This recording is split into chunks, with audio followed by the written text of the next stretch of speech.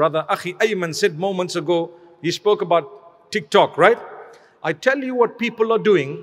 Unfortunately, people sit on other people's TikToks and watch them as they flick. And the only thing they can do is to comment negatively. Without giving anyone a word of encouragement, without saying anything, you have people who've accepted Islam now, now. And the next thing, you find all these Muslims bombarding them with so much. Do you reckon that's divine? Do you think that that's the way Allah wanted it? To bombard someone with so much that they feel trapped and they think to themselves, what did I just do? I always say, you reverted to Islam or you're newly practicing, please move closer to Allah at your pace, but at a decent pace. For as long as you know and Allah knows that you're heading in the right direction to the best of your capacity and ability, inshallah, you're doing the right thing. People are weak when it comes to fulfilling their salah, but they're born Muslim. And the same guys are attacking people who have a different weakness as though they have no weakness whatsoever. I'm not saying don't remind. But when you remind people, do so with utmost respect, putting yourself in their shoes. Do so in a manner that is so appealing that they feel like changing. You can't look at someone and say, well, I was about to use a, a bad word, let's not use it. Or should I use it? Shouldn't I? It's not such a bad word. Like they say, you know, haram, but not haram, haram, you know. You know, the words are becoming less and less bad according to the age, but in the eyes of Allah, they're bad. I was going to use the word idiot, but I won't use it.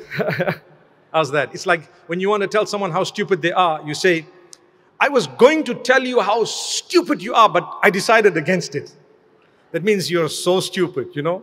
You're to say, you know what? I was to call you an idiot, but I think I won't.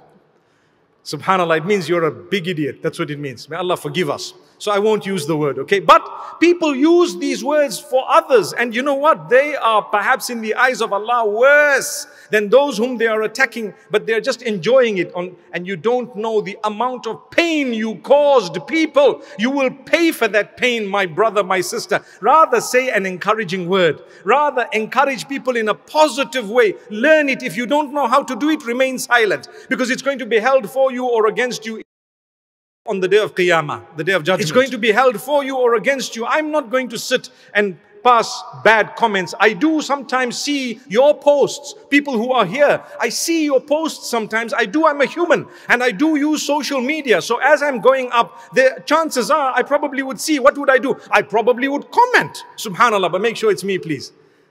Right? May Allah grant us ease. The last time I checked, there were about 10,000 Mufti Menk accounts. I didn't know who I was. I'm looking, wallahi, I look at people who have more content than I do of my own and they have more followers than I do.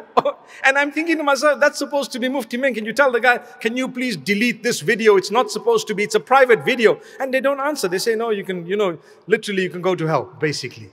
And I'm thinking, let's see who's going to go to hell.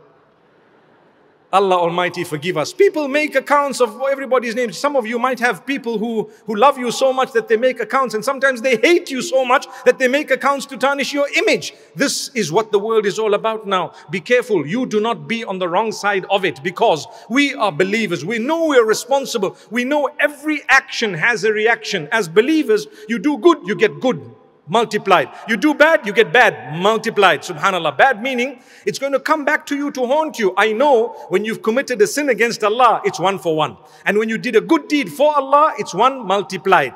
But when you commit a sin against someone else, it's coming back to haunt you. It's definitely coming to haunt you. May Allah Almighty grant us steadfastness and may we never be from among those who hurt and abuse others. So you don't just sit and enjoy looking at things. I was saying, sometimes I comment. I would only say a good thing, no matter who it is. Once I had a brother tell me, Sheikh, astaghfirullah, you commented on this sister's post. Why were you watching sister's posts?